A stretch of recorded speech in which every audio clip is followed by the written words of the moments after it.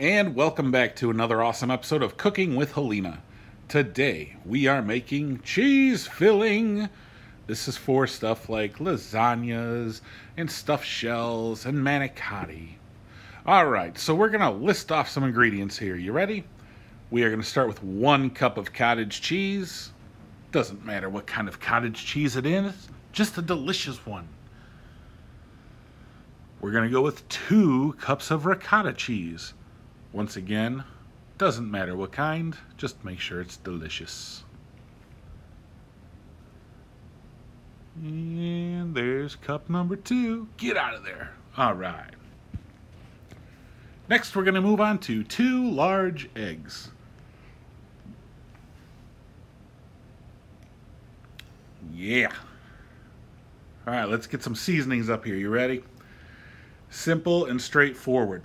Here we go we are going to do one tablespoon of oregano, one tablespoon of basil, one half teaspoon of thyme. I don't know why I put a big pause there, but there you go. One tablespoon of salt and one and a half tablespoons of black pepper. You can also put a little bit of crushed red pepper in if you want.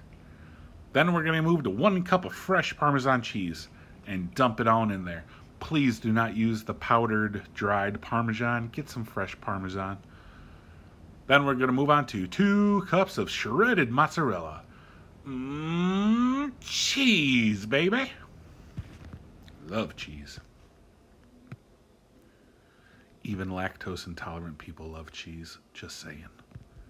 We're moving on to garlic. We're going to use four to six cloves of garlic. Put it through your garlic press or chop it. I would use all six. And if you looked closely at my video, I'm actually using seven.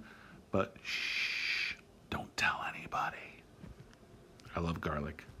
Keeps the vampires away.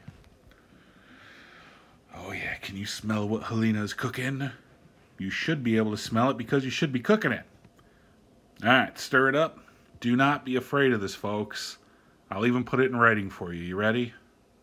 Don't be scared. You won't hurt it. Give it a really good stir stir for a good minute or so. Make sure that everything is incorporated and well mixed. After it's well mixed, we're going to go ahead and put it in the fridge covered for about an hour or so. All right, so after your hour of cooling in the refrigerator, go ahead and bring it out. Now, this step is completely optional.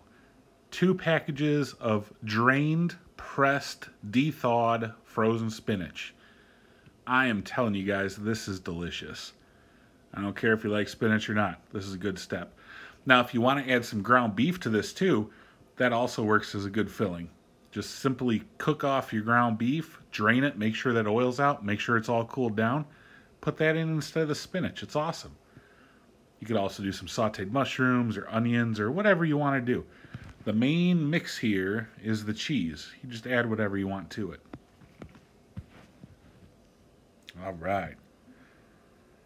After that, guys, just cool it and let it chill out and then get ready to use.